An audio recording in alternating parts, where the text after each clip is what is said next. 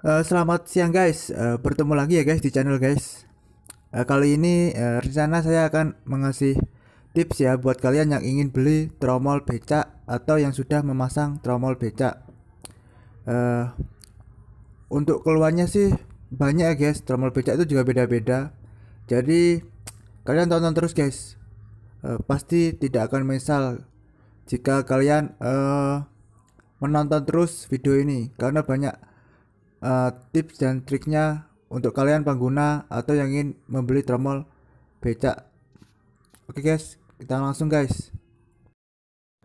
Seperti biasa guys, jangan lupa klik subscribe-nya dan aktifkan tombol notifikasinya guys, karena semua itu gratis.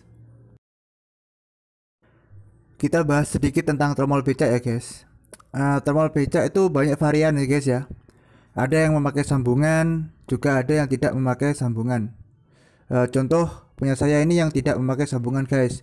Jika memakai sambungan maka di sini akan ada bautnya entah itu 4 ataupun 6. Biasanya itu ada kalau yang memakai sambungan. Dan tipe mod, uh, sorry tombol becak itu beda-beda ya guys ya. Bahannya juga beda-beda, modelnya pun juga beda-beda guys.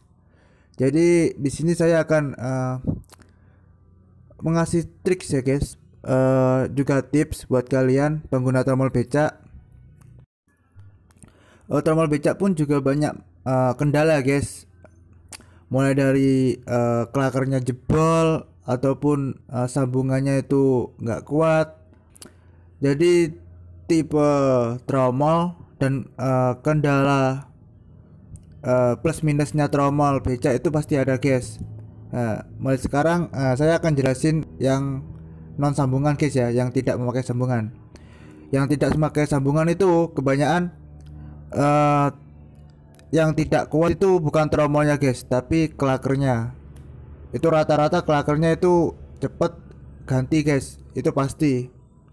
Dan yang memakai sambungan uh, minusnya itu pasti sambungannya itu guys. Meskipun kalian kencangkan uh, seperti apa pasti lama kelamaan akan terlepas alias kendor sendiri guys. Jadi itu sangat berbahaya guys. Dan di sini saya akan mengasih trik ya guys. Uh, ini khusus yang uh, non sambungan guys yang tidak memakai sambungan. Jadi gini ketika kalian beli tromol ya guys ya tromol becak yang tanpa sambungan seperti ini kalian cek dengan cara kalian putar-putar bagian klakernya guys.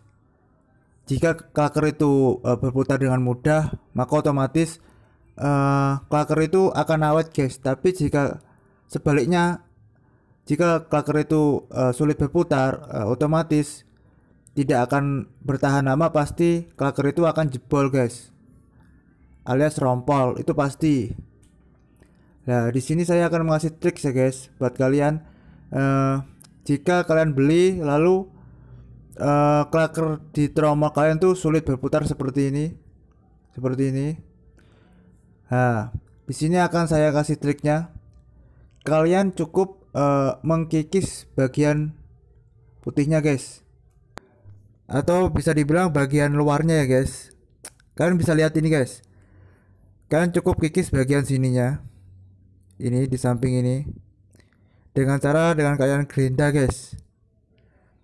Sebenarnya bisa, guys, uh, membubut lagi atau mengkikis bagian uh, dalam tromolnya yang ini. Tapi ini ketebalan sudah segini guys. Takutnya nanti ininya yang nggak kuat kalau kita bubut lagi lebih tipis lagi. Jadi sayang. Juga kendalanya juga mahal guys kalau kalian bubut lagi. Jadi kita serang bagian ininya saja punyanya klakernya guys. Kalian cukup kikis bagian ini guys. Dengan cara uh, kalian gerinda manual guys. Ini saya kikis manual. Uh, yang ingin tahu seperti apa caranya uh, ini saya punya uh, sedikit ininya ya infonya guys. Kalian bisa lihat seperti ini. Uh, baik. Yang pertama kalian bisa jepit klaker ini menggunakan tang dan usahakan tetap bisa berputar seperti ini. Ketika sudah kalian bisa gunakan tali agar lebih kuat lagi. Lalu kalian injek guys. Usahakan jangan sampai goyang guys ya. Soalnya ini cukup sulit juga. Ini posisi masih bisa berputar guys ya. Harus harus bisa berputar guys. Kalian ambil kain guys. Lalu ambil gerinda ini misalnya gerinda ini ya. Misalnya gerinda kalian tempelkan ujung gerinda ini seperti ini lalu otomatis jangan terlalu ditekan guys ya otomatis klaker ini akan berputar guys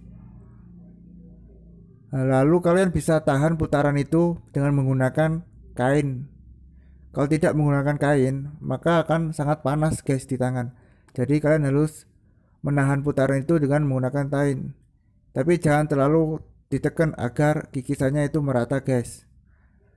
Ketika kalian uh, melihatnya sudah sedikit uh, terkikis guys ya, jangan terlalu banyak guys. Kalian bisa langsung uh, coba pasang ke tromolnya. Jika masih kurang kalian bisa lakukan lagi. Usahakan itu pas guys. Jadi sulit. Buat teman-teman yang uh, belum ahli langsung serahkan ke bengkel saja.